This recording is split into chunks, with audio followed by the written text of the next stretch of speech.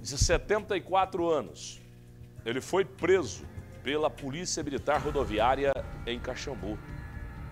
Contra ele havia um mandado de prisão em aberto pelo crime de estupro.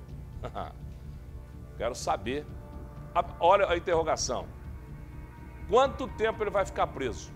Eu quero saber também se os direitos humanos, se contra ele havia um mandato de, de prisão em aberto, né, pelo crime de estupro. Então vamos lá. Se o mandato está aberto é porque ocorreu o estupro. Eu quero saber se os direitos humanos mandaram ajuda um psicólogo para conversar com quem foi estuprado.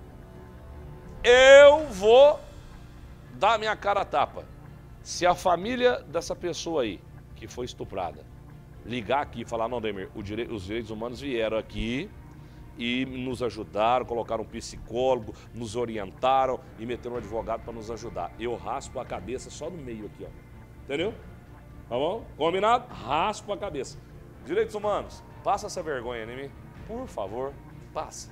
Põe no ar.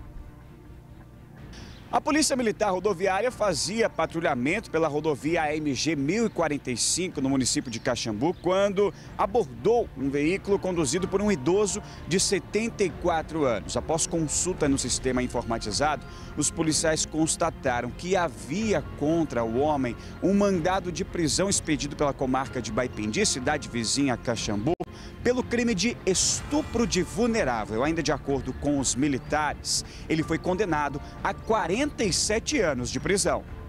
Opa, 47 anos de prisão. Outra aposta. Aí eu vou raspar a cabeça assim, ó. ó e, e, e aí eu quero chamar a criança.